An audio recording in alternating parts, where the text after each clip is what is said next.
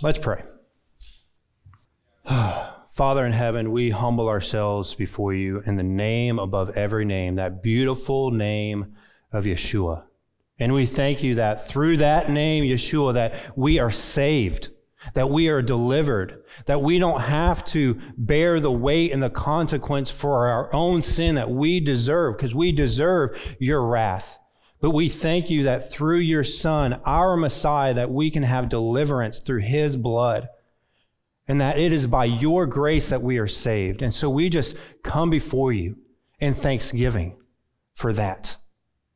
And know that, Lord, we need you. We desperately need you. We need your Holy Spirit right now to speak to each one of our hearts. You said you spent, sent the Spirit, the Spirit of truth to lead us into all truth.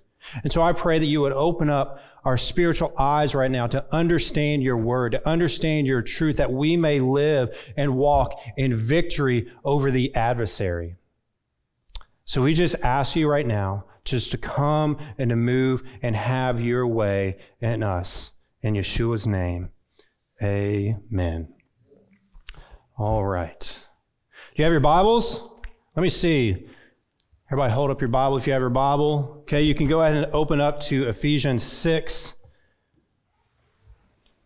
Just be ready. We're going to be starting in verse 10. Let's just go ahead and, and open up and read that passage together.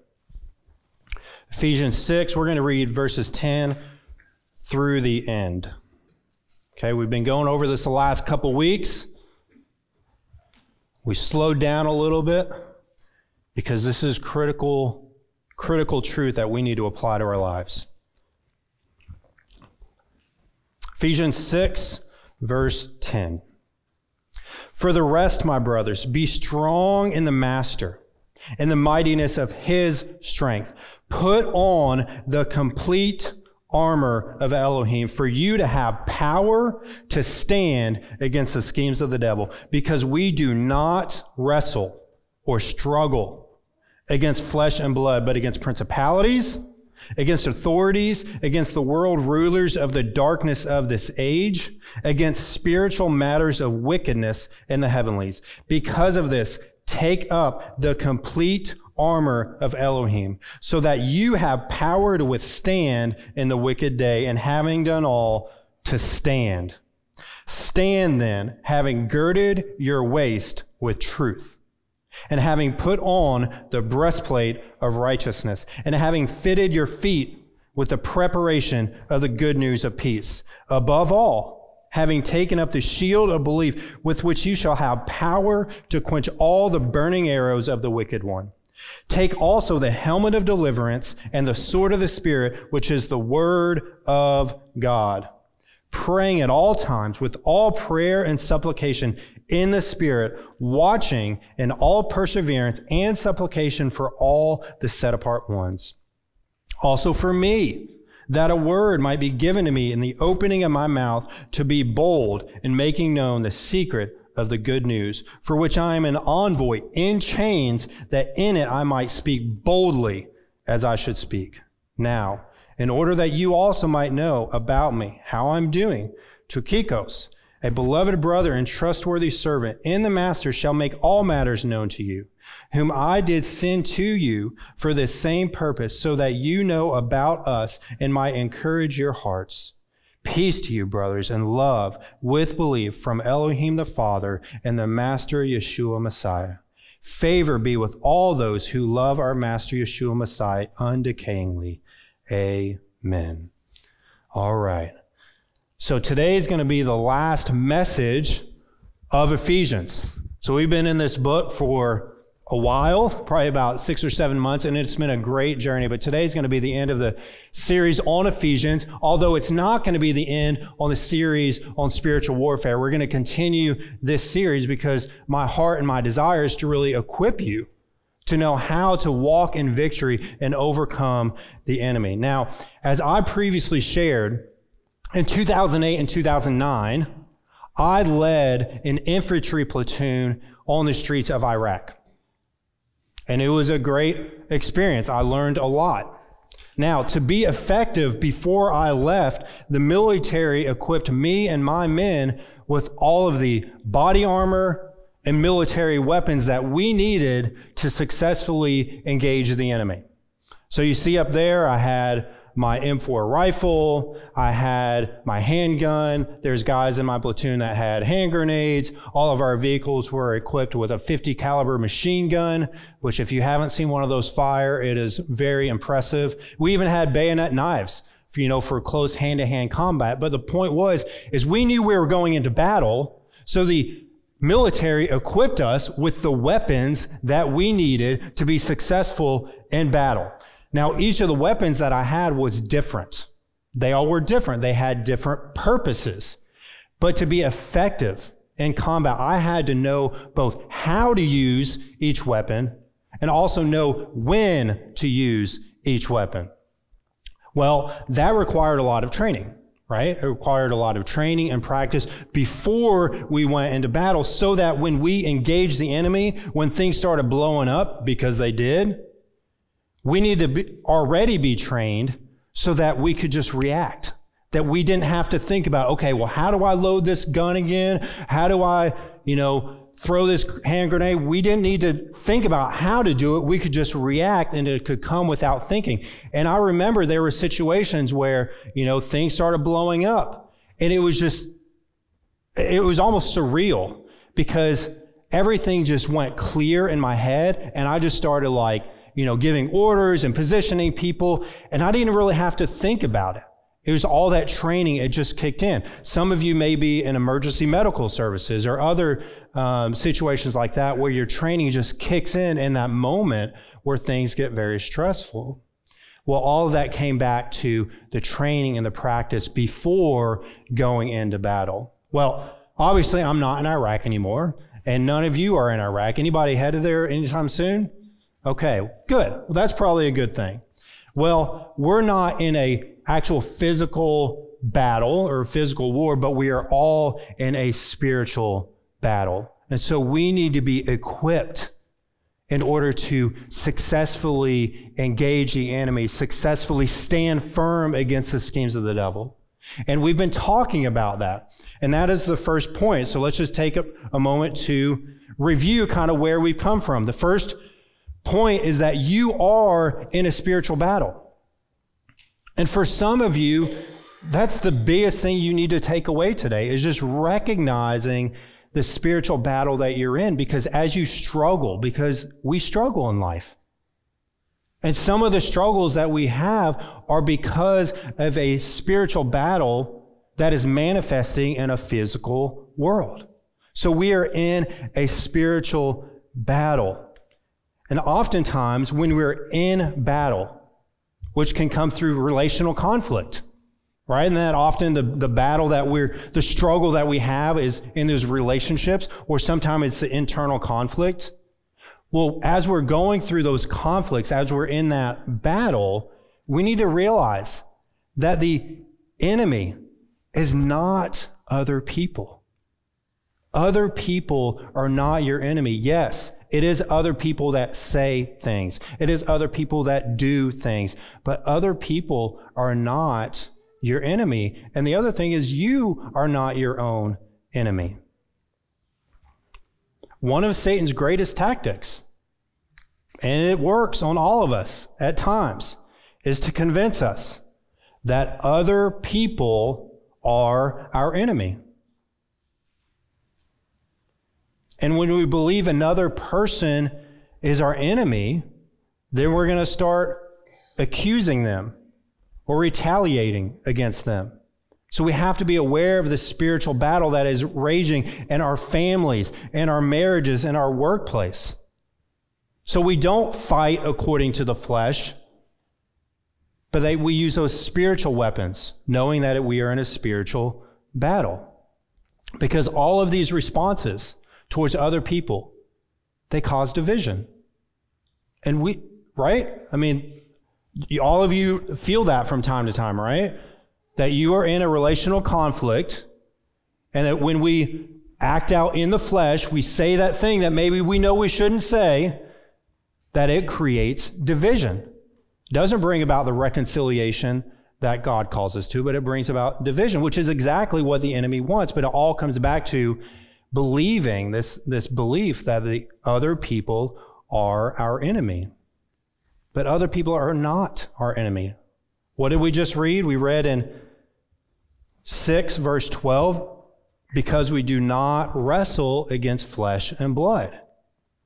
Our enemy is Satan and his kingdom.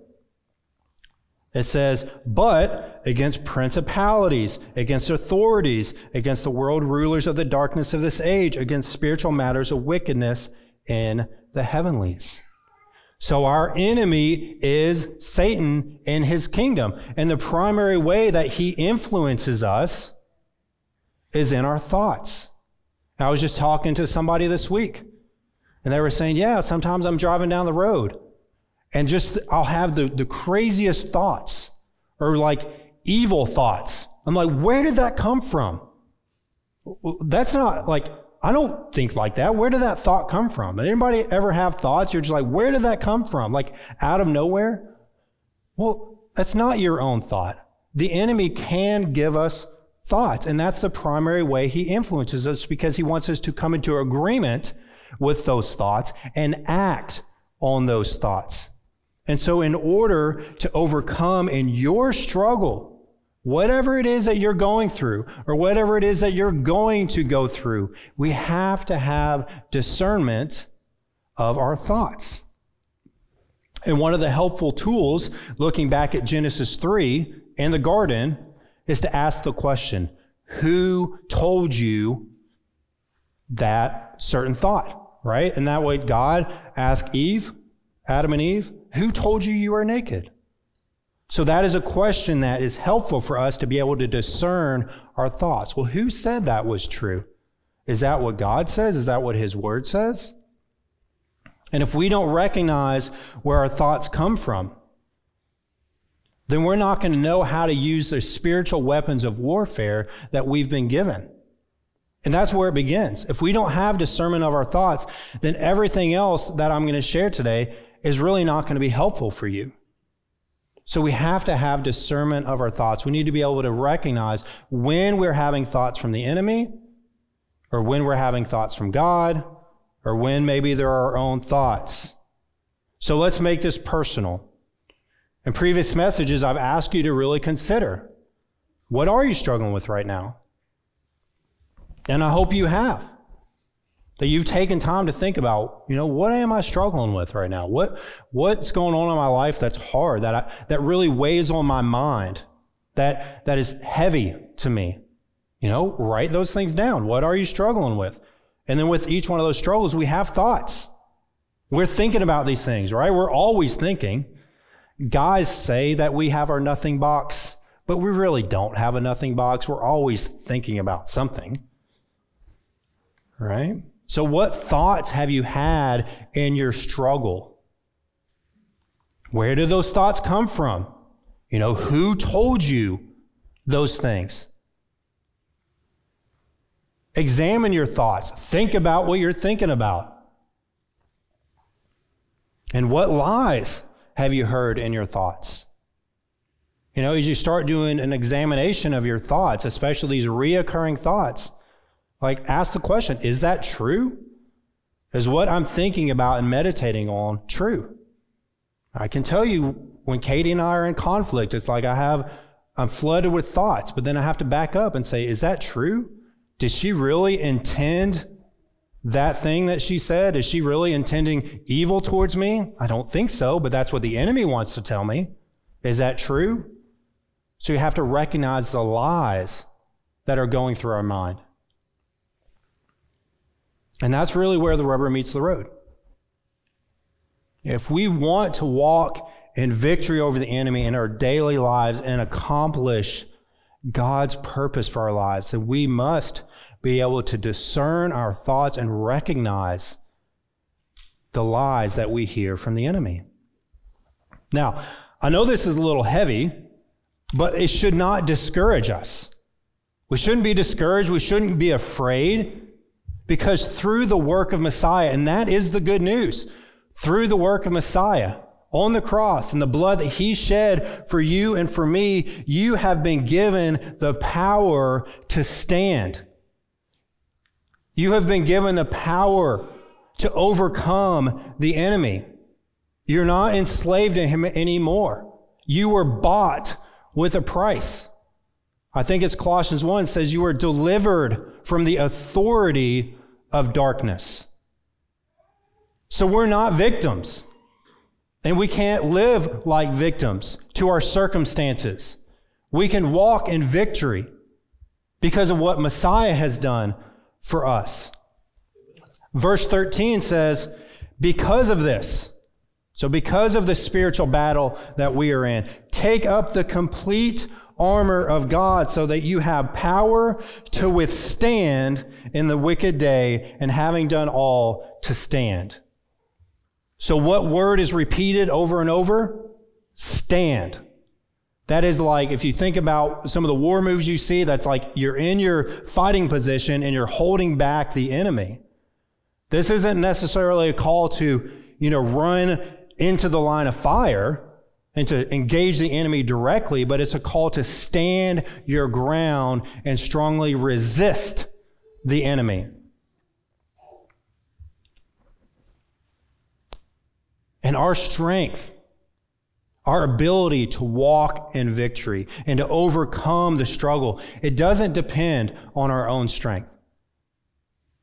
Because we're weak. I mean, come on. We are weak.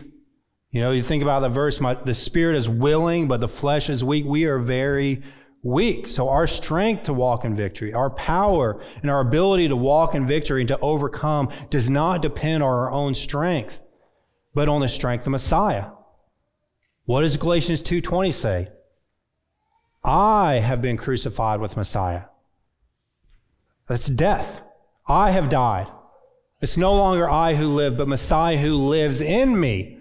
And the life I now live, I live by faith in the Son of God who loved me and gave himself for me. So we must recognize our own weakness and insufficiency and choose to abide in Messiah and choose to depend on his strength to overcome. That would be a great prayer to start your day with. Lord, I know that I'm weak. I'm insufficient. I don't have what it takes. Empty me of myself and fill me with your Holy Spirit and strengthen me in my inner man, like Ephesians 3 says, so that I might be filled with all the fullness of God. That's where victory and overcoming begins. So, in addition, he has given us a complete set of spiritual armor to stand firm against the advances of the enemy. And we talked about that two weeks ago, that complete set of armor. And one thing we're going to provide next week, so I would encourage you to come back, is we're going to be making a little battle book. Okay? I'm all about the practical. So we're going to be handing out these little battle books that have scriptures associated with each piece of the armor and a prayer associated with that. That you can pray on that piece of armor and just get your mind focused on the truth of what God says about you. So come back and, and so that you have that. And we're going to be able to add to it as we go through this series on spiritual warfare because we want to equip you to walk in victory. So last week we talked about the defensive set of armor. And this week we're going to talk about the offensive spiritual weapons. So last week we talked about armor. This week we're going to talk about weapons. Second Corinthians 10, 3 and 4 kind of a reiterating Ephesians 6. It says, For though we walk in the flesh, we do not fight according to the flesh. For the weapons we fight with are not fleshly, but mighty in God. And of course, the verse continues, but the question I have is what are those weapons? What are those spiritual weapons that the Lord has given us to overcome, to cast down those thoughts, to tear down those strongholds? We need to know what those weapons are and then we need to know how to use those weapons to overcome in your struggle. So I'm going to list off five of these weapons, and we're going to talk about two of them. So, of course, from Ephesians 6, we know that we have the sword of the Spirit, which is the Word of God. That is a weapon that we have to fight in spiritual warfare. We have prayer, right? Sometimes when we're reading the armor of God, we stop after sword of the Spirit, which is the Word of God. Well, it keeps going. There's a comma there. The, ver- the sentence continues. Prayer is a spiritual weapon that we have. We also have fasting. You think about when Yeshua told his disciples that you can't cast that demon out except by prayer and fasting. So fasting is a spiritual weapon we have. We have praise and worship. That's a weapon that we have to declare praise to our God through song. And then we have the blood of Yeshua. The blood of Yeshua. I'd encourage you to read Revelations 12, 10, and 11. But verse 11 says, They overcame him because of the blood of the Lamb and because of the word of their testimony, and they did not love their lives unto death. So the blood of Yeshua is a weapon that we have. But today we're going to talk about the sword of the Spirit and prayer. So to be effective, for us to be effective in our daily lives, in spiritual warfare, we must know how to use these weapons, how to use the sword of the Spirit, how to use prayer to stand firm against the schemes of the devil. It's not enough. And this is so important. It's not enough just to have facts about them. I'm sure many of you could do an amazing teaching on prayer. But there's a difference between being able to teach on prayer or teach the Word of God and actually walk it out. There's many people in the academic circles and beyond that know far more than I do about the Bible, but they're not walking in faith. So it's not enough just to know about these things. We need to know how to use them in spiritual warfare. Now, if I stood up here and I told you everything you need to know about the M4 carbine rifle, Everything you need to know. And I take it to, gave you a test. You passed the test with flying colors. How many of you from, with just that information would feel equipped to walk into a war zone and use this weapon effectively? Okay, we have a couple, all right, that would feel confident. Let me know how that goes for you. Of course not. Because it's not enough just to know about the weapon. You need to know how to use the weapon. Now, many of us know the Word of God because you're sitting under good teaching. And I'm not talking about myself. I'm talking about a lot of you sit under teachings of Dr. Brooke Corman and Tom Bradford and others, really excellent Bible teachers. So you know the Word of God. You've been studying it for a lot of your life. And I'm sure many of you, if we did some Bible trivia, that you would take me to school. But the question is, do you know how to use the word of God, the sword of the spirit in spiritual warfare? We may be able to quote a lot of scripture, but do we know how to use it in spiritual warfare? So that's one of the purposes that I have for this series is to equip you with the truth from God's word so that you can walk in victory over the enemy and accomplish God's mission for your life. I want to live as an overcomer. Revelation 2 and 3 over and over. To them who overcome, to them who overcome. That's what it's about. It's about overcoming. After this series, I want to equip you so that you can effectively use these weapons of warfare to overcome the attacks of the enemy and to walk in victory. I want you to be able to recognize when the enemy gives you a thought and to be able to resist and combat that thought with the truth of what God's word says. So you can walk in victory. Because that's what we've been called to, is to walk as overcomers, live as overcomers and to walk in victory. So let's talk about these weapons, these spiritual weapons that the Lord has given us to overcome the schemes of the devil. The first one is the sword of the Spirit which is the Word of God. He has given us the most powerful weapon in the universe And a lot of times that's not how I think about my Bible, not how I think about Scripture. But He has given us the most powerful weapon in all the universe. And the same Word, the same Word that spoke the universe into existence and that holds all things together is the same word that you hold in your hands. It's the same word. What is Psalm 119? Let's just look at a few scriptures. Psalm 119, 89. Forever, O Lord, or forever, O Jehovah, your word stands firm in the heavens. His word is eternal. Psalm 33, 4 through 6. For the word of Jehovah is straight, and all his works are in truth, loving righteousness and right ruling. The earth is filled with the loving commit, uh, commitment of Jehovah. By the word of Jehovah, the heavens were made, and all the host by the spirit of his mouth. Just meditate on that. That is unbelievable. 2 Timothy 3 16 and 17 says, let's read this one together. All right. All scripture is breathed out by Elohim and profitable for teaching, for reproof, for setting straight, for instruction in righteousness, that the man of Elohim might be fitted, equipped for every good work. All scripture is breathed out by God. So yes, it is powerful. Hebrews 4:12.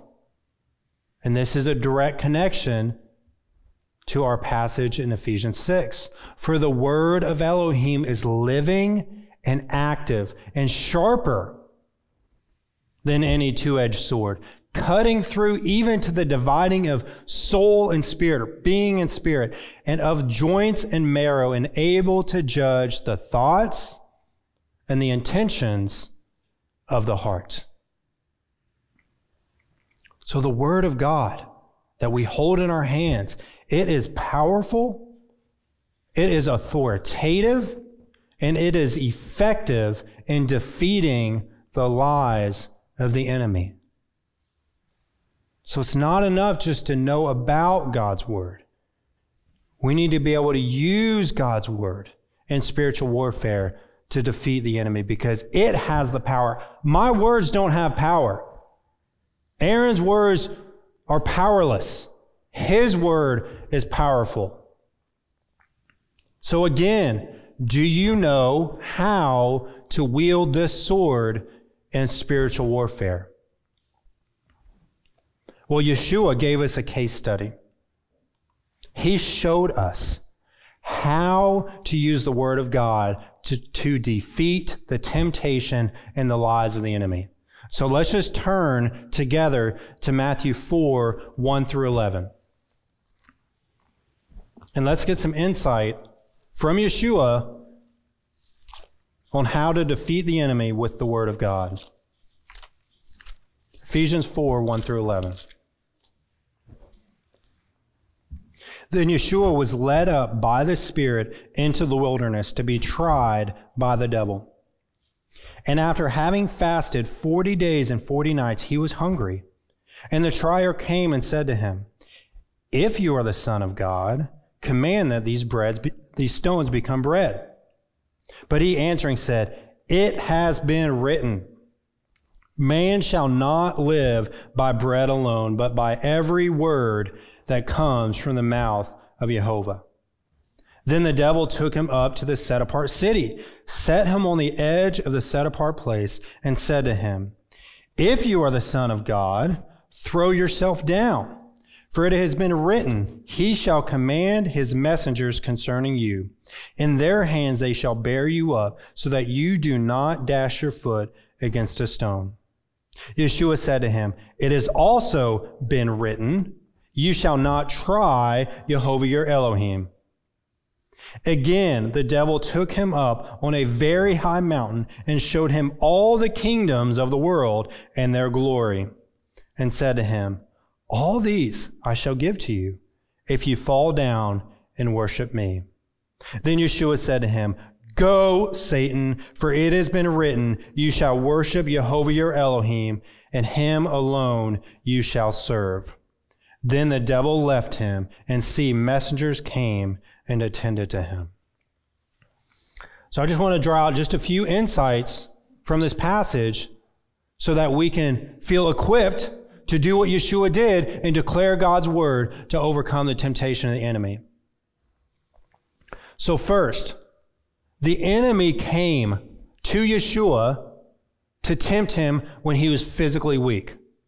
Right? You notice that he had been fasting for 40 days. So he was spiritually strong, but he was physically weak. And that's oftentimes when the enemy comes to tempt us. When we're sick, tired, hangry, all of those things. That's when the enemy comes to tempt us, when we are physically weak, because we're such fleshly creatures. Now, the enemy also was attacking his identity. Do you notice that? If you are the Son of God. He was attacking his identity because you saw there in the passage that ultimately it is Satan that wanted to be worshiped. It isn't that I think Isaiah 14, what led to the fall in, in the first place, is because he wanted that glory. He wanted to be higher than God. So he's telling the Son of God, fall down and worship me.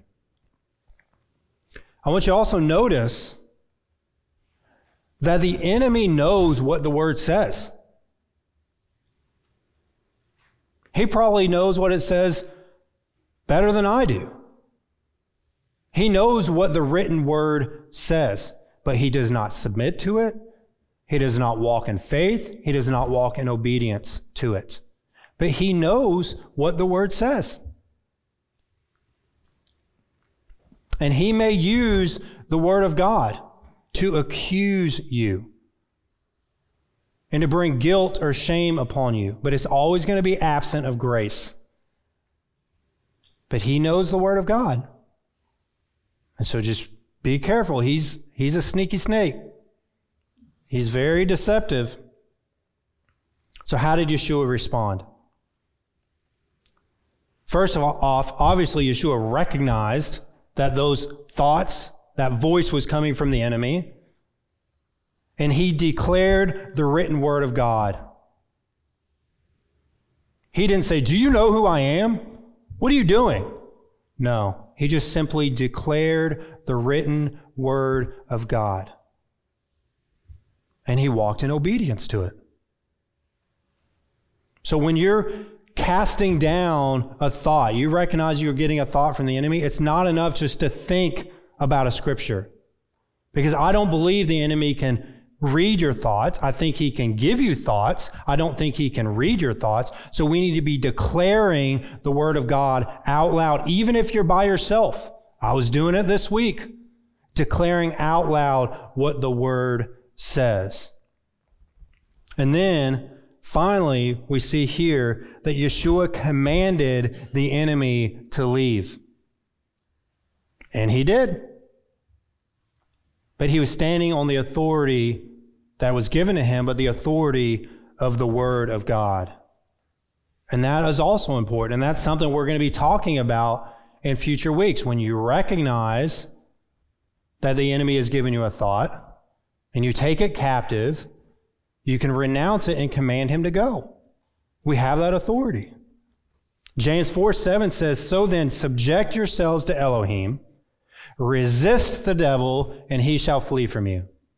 So that's what we see from Yeshua. He was subjected to God, to the Father. He resisted the temptation of the enemy and commanded him to go, and he did.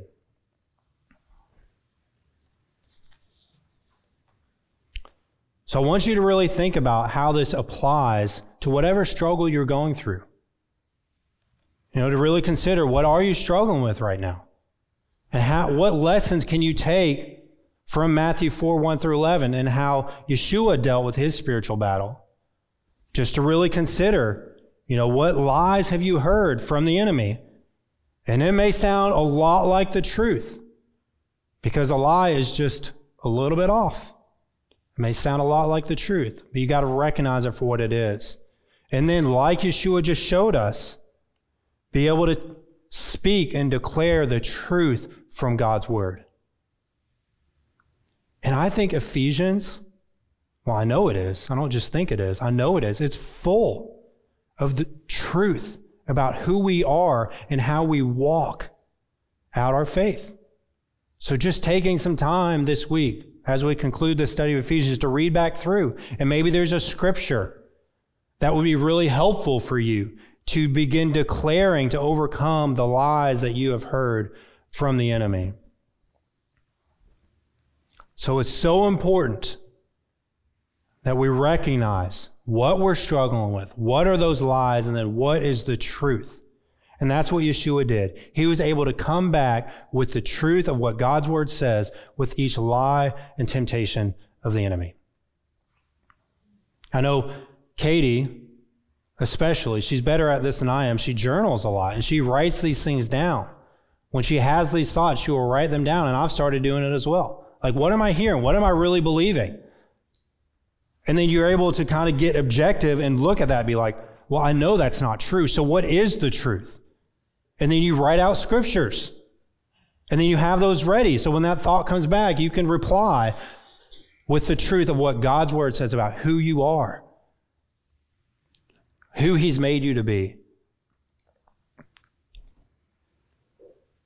So the first weapon that we have available to us is the Word of God, the sword of the Spirit. The next weapon we have is not often thought of as a weapon, but it is. And that's prayer. How many of you think about prayer as a weapon? I mean, some of you probably do. It's a little, it was kind of like, you know what? That is a weapon. That is a weapon we had. Now, when I was over in Iraq and we were in combat, I used a very effective weapon to defeat the enemy. And it wasn't my M4 rifle. It wasn't a 50 caliber. It wasn't my handgun. What was it? Prayer is the right answer, but more practically, it was my radio. It was my radio. So anytime we came under attack, my very first step was to get on my radio, to call my commander, to call the tactical operations center and say, Hey, we're under fire. So let him know as briefly as possible what's going on so that he was aware and he could start dispatching resources to come and help us. Right? He could send additional soldiers. He could send my favorite, which were helicopters. Those were the best. When you start getting the helicopters hovering overhead and you get on the radio with them and they've got eyes in the sky, it was great. We also have precision artillery rockets. We have tons of weapons, but my commander would not know how to help my platoon if he didn't know I was under attack. So I had to communicate with my commander using my radio to tell him we are under attack.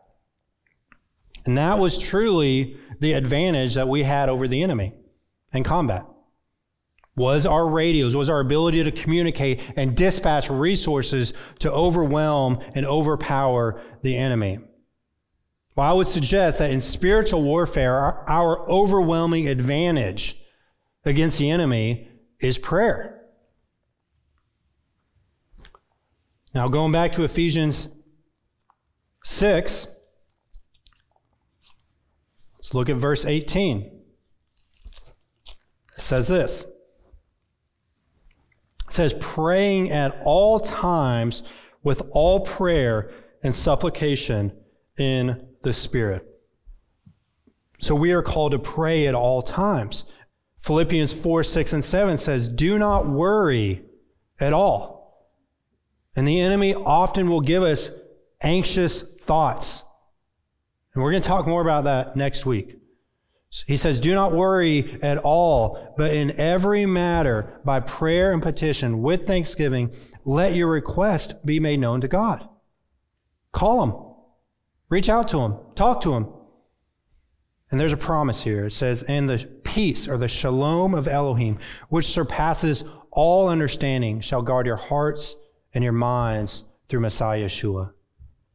When it says it'll guard your hearts and your minds, you know that's military language? If you can imagine two fully equipped soldiers standing at a fortress in front of the gate saying, nah, you ain't getting by here. That's what the image is. It says, the peace of God will guard your hearts and your minds when we pray.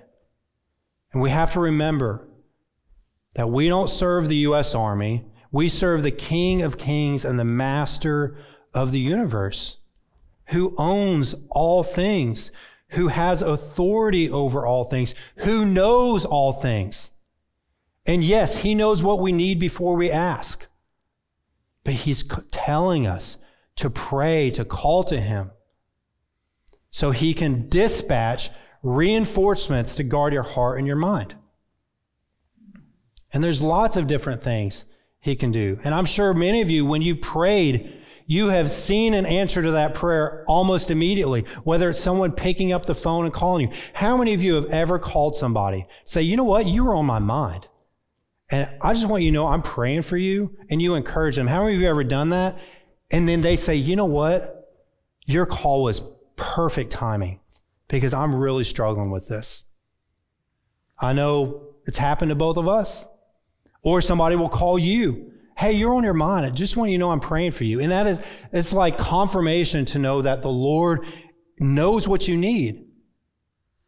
And when we pray, we can have confidence that He will dispatch those resources to help us in our time of need. So that is a truly effective weapon that we have in warfare. Proverbs 15, 29 says, Jehovah is far from the wrong ones, but he hears the prayers of the righteous. How many of you are in a covenant relationship with Yeshua? Raise your hand. You have been declared righteous. And so he hears your prayers. Now, are there certain things that we can do to, to cause him to not hear our prayers? Yes. But he hears your prayers because you have been declared righteous. And prayer really shows, it shows a dependence on God and a submission to his word. Just like, you know, when our kids come to us and they ask for help. That is a, it just warms our hearts. And oftentimes we already know that they need help, but when they come and ask for it, it's just showing that dependence on us and that submission to us. But I will say that prayer and reading the word are two things the enemy does not want you to do. And he tries very hard to keep you from doing them. How many of you feel resistance that you cannot explain when you go into prayer or to reading the word? You think that's your own psychology? I don't think it is. It may have something to do with it, but I think that is the enemy seeking to oppress you to keep you from prayer, keep you from reading the word. Why? Because they have power and authority. Prayer has power. The word has authority. And when we use them together, they defeat the enemy. Two highly effective weapons that we have. So when we pray, we should pray the Word of God. You notice here in Ephesians 6, it says, praying at all times with all prayer in the Spirit. Well, when you pray in the Spirit, pray using the sword of the Spirit. Do you see the connection? Between the sword of the Spirit and praying in the Spirit. So I believe one of the primary ways we can pray in the Spirit is when we pray the Word of God. Because that's how we know that we're praying God's will. How many of you want to pray God's will? Yeah, of course you do. But when we're praying out of our own heart, out of our own mind, sometimes I don't think we do pray God's will. Sometimes we do, but when we pray the word and we declare God's truth, we know that we're praying his will. So I can say when I'm struggling, when I recognize the thoughts that I'm having from the enemy, I just start praying out loud. I start calling for help. I'm just talking to my father, just like I would call my earthly dad on the phone. Hey, dad, I'm struggling. Can we talk about this? It doesn't have to be scripted in any certain way. We just reach out to the Lord. Father, I'm struggling. I need help. I need help right now. I tell him what I'm hearing. I tell him what I've been believing and I ask for his help to help me overcome in that moment. And then oftentimes he will give me a scripture. Some scripture will come to my mind and I'll just start declaring that scripture out loud. Now recently, I was feeling a little overwhelmed by all of my responsibilities. Now, after all these stories, you guys can be like, man, you're always struggling. I'm like, well, maybe I am, but at least I admit it. I was feeling a little overwhelmed by all of my responsibilities. You know, we're still kind of getting our feet under us with four children and we want to do it right. And when you really try to do family right, it's hard because you really have to die to yourself and you know, I want to lead well in the fellowship. I want to shepherd well. I was feeling a little overwhelmed and I was thinking, man, I don't, I don't have what it takes to get all these things done, to do this well. Maybe I'm not cut out for this. Well, when I recognized the, the lies that I was hearing, because that certainly wasn't coming from God, I started praying out loud. And the Spirit brought this scripture in our mind. It's 2 Corinthians 12, 9 and 10 says, He said to me, My grace is sufficient for you. For my power is perfected in weakness. Most gladly then I shall rather boast in my weaknesses so that the power of Messiah rest on me. Therefore I take pleasure in weaknesses and insults and needs and persecutions and distresses for the sake of Messiah. For when I am weak, then I am strong. So I, one of the reasons why I love Lester is because he just always reminds me that I'm completely incapable and insufficient. and I really appreciate that, right? Yeah, he's shaking his head back there. Because I am. And I think the sooner that we come to grips with that, that the better off we're going to be. Because we're going to be dependent on Messiah. We're going to be dependent on His Holy Spirit. We're not going to try to do it on our own. We're going to be dependent on His strength, His power, His Holy Spirit. I really think that's what it means to walk by the Spirit. To wake up in the morning and say, I don't have what it takes. I'm not smart enough. I'm not strong enough. I need you, Lord. So please lead me by your Holy Spirit. Give me the thoughts to think today. Show me what you want me to do today. I need your help. So, that's just an example. When we recognize those thoughts, to begin to pray. And then as he brings a scripture to your mind, or maybe one you already have, begin declaring that scripture. Declare the truth over your mind, over your life. So prayer and the word of God should always be used together to defeat the works of the enemy. Should always be used together. Now let's continue in the second half of verse 18. It says,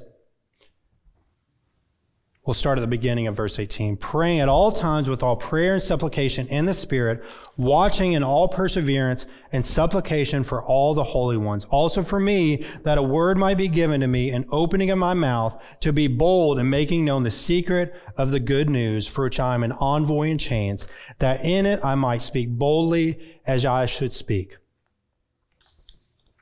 Here's what I want you to recognize.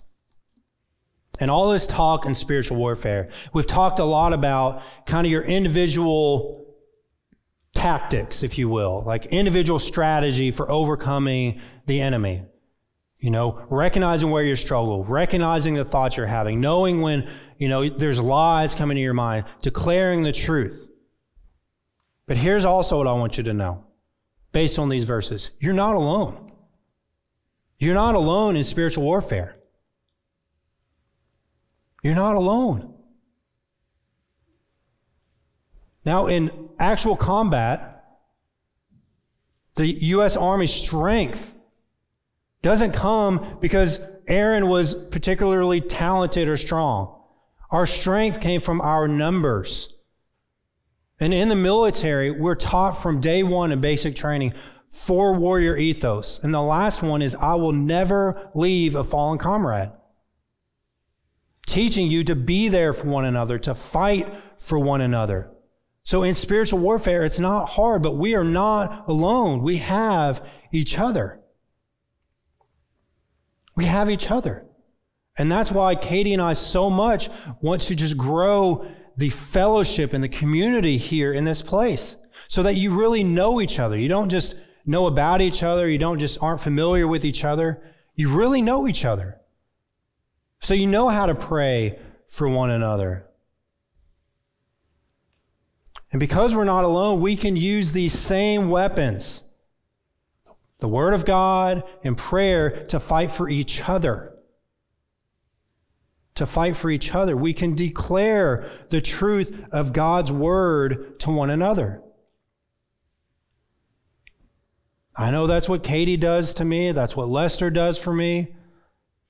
When I start having stinking thinking, because I do, then they can remind me of the truth. And that's what it takes sometimes is someone else to just listen and be like, well, is that true? That may be what you believe or what you're hearing. Is that true? What does God's word say? So we can declare the word of God over each other and we can pray for one another. We can pray for each other. James 5, 13 through 16, saying, Is any of you suffering evil? That's been my question. What are you struggling with? Let him pray. Is anyone in good spirits? Let him sing psalms. Is anyone among you sick? Let him call for the elders of the assembly and let them pray over him, having anointed him with oil in the name of the master. Call us if you're sick. Sometimes I find out three or four days after someone goes in the hospital. I want to know like immediately so I can pray for them and find a time to go visit. So call us, but we can also pray for each other. And the prayer of the belief shall save the sick, and the master shall raise him up. And if any has committed sins, he shall be forgiven. Confess your trespasses to one another and pray for one another so that you are healed. The earnest prayer of the righteous one accomplishes much. So be encouraged to pray, but also to pray for one another, to declare the truth over one another. And as Paul concludes this letter, he asks, he gives a prayer request. He says, Will you pray for me that I have boldness to proclaim the good news, the secret of the good news? That was his whole mission. That's what this letter is all about. Him revealing the secret of the good news. So he's asking for prayer, to have boldness, to proclaim that. Well, all of us have a mission and a purpose from God. So we need to be praying for one another.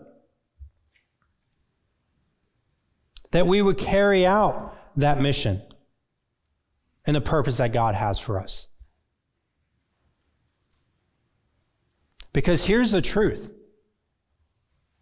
is when you start seeking the Lord and seeking to do his will and seeking to carry out his purposes, that's when the enemy's going to attack. And that's when we're going to need to be to pray for each other. If you feel like, you know what, I'm good. I'm good. Really not struggling. Everything's good. Praise the Lord. But if that's always the way it is and you, there's never any assaults on the enemy, that's concerning. It, I mean, it is. I mean, I feel like, you know, the, the last year or so since we've been here has been wonderful. It's been good. You all have been so good to us, but it's been hard because the enemy's not happy about us being here. So he's been attacking us in a lot of different ways. But we have the tools, we have the weapons of warfare that we need to overcome. And I try to make these messages really practical so that you can take what you hear and actually apply it to your life and you can walk out the door and you get that thought and you know, oh, that's not my thought. And you declare scripture and you pray or you call someone. So you can begin to live and walk as overcomers. So let's just make it practical again. On the back of your the back of your notes, you have these questions, and I know that's a lot of questions, and you may not be able to answer them all right now. That's okay. But take some time to go through these questions. I think it would be very, very helpful. So what are you struggling with right now? You know, what thoughts have you had? Writing down those thoughts. You know, what lies among those thoughts, what lies have you heard from the enemy? And sometimes those lies don't come into your own thoughts, but they come through another person. So sometimes you may be just thinking about what somebody else said to you. Well, maybe the enemy spoke through that person, spoke a lie, and you're just replaying that in your mind. So recognize that lie. And then don't overwhelm yourself. What is one scripture? What's one scripture that you can use to cast down that thought, that lie, and pray over yourself? and declare over yourself. What's one scripture? Pray. Just ask the Lord. He'll give you a scripture. Read back through Ephesians. There's lots of them. And then, who's praying for you? Who knows you well enough? Who are you being honest with? That you can pick up the phone and you can say, Hey, I'm struggling. And they just start praying for you. If you're married, I pray to God that you have that with your spouse. But we need that from other people too. So who is praying for you? Who are you being honest with? And then, who is one other person that you know who's struggling? Do you know other people's struggles? Do you know what other people are going through? And then what is one scripture you can pray over them and share with them? Because we can battle together. That's where our strength is. Is when we are filled with the Holy Spirit, when we're strengthened with His vast strength, and we do it together, then we are going to overcome. So I would encourage you to both reach out to other people, ask them to pray for you, to pray with you, but also to pray for others to know them well enough to know how we can be praying for them. I'm looking around and I know a lot of you and I know what you're going through. So I can be praying for you, but we need to be knowing each other as well so that we can pray for one another. So we're just going to take some time now. We're just going to ask the Holy Spirit just to come and speak to each one of your hearts and to show you the answers to these questions, to help you begin to process and then to bring to your mind the truth so you can begin meditating on the truth of what God's word says and defeat the lies of the enemy. So Katie, Lester, and Deanna are going to, to play for us, and this is going to be our time. So Father, we come before you in the name of Yeshua, and we thank you that you do not just leave us helpless in the battle, but that you have given us weapons of warfare to defeat the enemy, to stand firm against the schemes of the devil. So I pray right now in Yeshua's name that you would encourage each one of our hearts. Lord, give us discernment of our thoughts. Help us to understand what lies we've been believing, what thoughts have been going through our head that are not true. They're not from you. and to bring to our minds truth from your word that we may begin to declare your word out loud over ourselves and over each other.